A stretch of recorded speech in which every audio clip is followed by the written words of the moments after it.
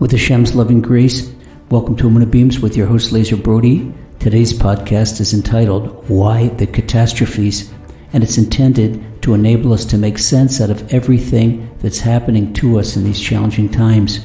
We've just entered the three weeks again, the notorious period between the 17th of Tammuz and Tisha B'Av, when the worst things happen to the Jewish people throughout history. We can't possibly understand the three weeks without understanding the root of Tisha B'Av and the destruction of both holy temples. It was the eve of Tisha B'Av when the 12 spies returned to the Israelite encampment from 40 days of scouting out the land of Israel. All of them, except for Calev ben Yephuneh from the tribe of Judah and Yehoshua ben Nun from the tribe of Ephraim, said slander about the land of Israel and about how dangerous it was. So that night, the entire Israelite nation sat in their tents and cried. So Hashem said to them, Okay, you want to cry for nothing? I'll give you plenty of reasons to cry for generations to come. We know that Hashem runs the world measure for measure. So if the Jewish people cried for one night, then why didn't Hashem punish them for just one night? Why didn't Hashem make a one night Holocaust or some other catastrophe and then consider the sins atoned for? Well, the answer is easy.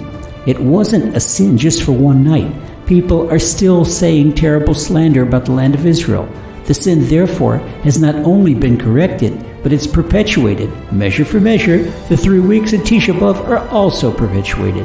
So these are the two things that people must do right now. The first you have to do right now is to stop saying bad things about the land of Israel.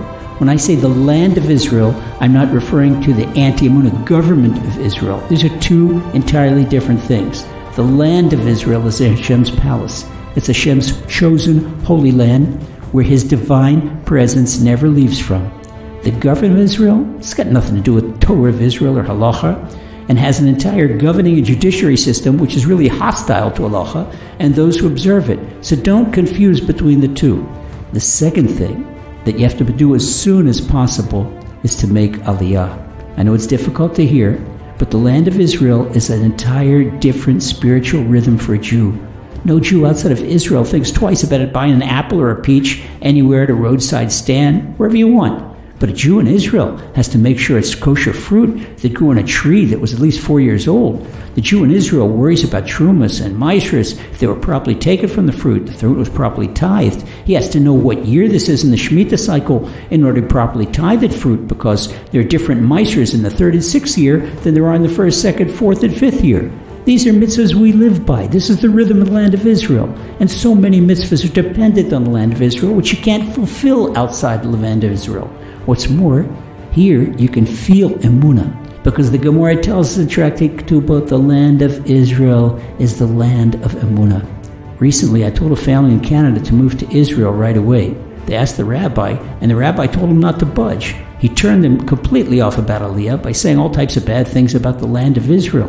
Well, the Gaon Vilna says there are two mitzvahs that a person does with his entire body sitting in a sukkah and living in the land of Israel.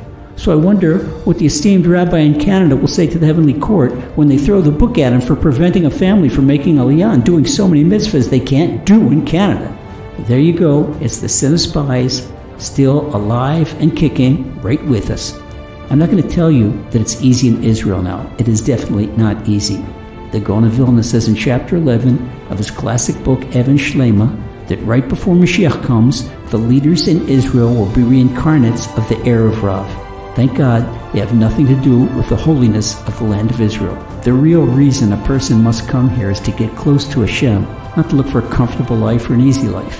What's more, if we look at chapter 14 of the book of Samuel 2, we see that Hashem looks for ways that no one will be left behind. Hashem wants us all here so he can bring Mashiach already. So don't wait until you have to escape from the shattered economy and violence in the streets that looks just like Germany before the rise of Hitler. The massive economic meltdown and unemployment in the USA is a breeding ground for heightened anti Semitism that starts out in words and ends up in violent tragedy. But I don't want to go there. I want to talk about negative reasons. Come to the land of Israel for the good reasons, the wonderful reasons, as a matter of choice, as a Jew, and not as a refugee escaping from some catastrophe. Eretz Yisrael is the place to feel Hashem and to get close to Hashem. It's the only place on earth when you could observe the entire Torah and fulfill his mitzvahs. It's the place where you can live as a Jew and feel like a Jew. Meanwhile, get yourself a bottle of Land of Israel wine or some fruit from Land of Israel and put them on your Shabbos table. Taste the land, the wine, the fruit. You'll be tasting the Kedusha, the holiness of the land of Israel. Praise Hashem and praise the land of Israel. That's easy. That's not hard to do. And then contact Nefesh B'Nefesh and start the ball rolling for Aliyah. In fact, contact his head, Rabbi Yehoshua Fass, F-A-S-S, and tell him that Lazer Brody sent you. Beg Hashem every day in your prayers to bring you to the land of Israel. And even if there are big obstacles holding you back for the time being, with enough desire, Hashem will move the obstacles out of your way once we correct that nasty national sin of the spies who wanted to remain outside of Israel and not come here. We correct that terrible blemish on our national soul, and Hashem will turn Tisha B'Av into a day of great joy when we meet Mashiach in our rebuilt holy temple. Speedily, Amen. God bless.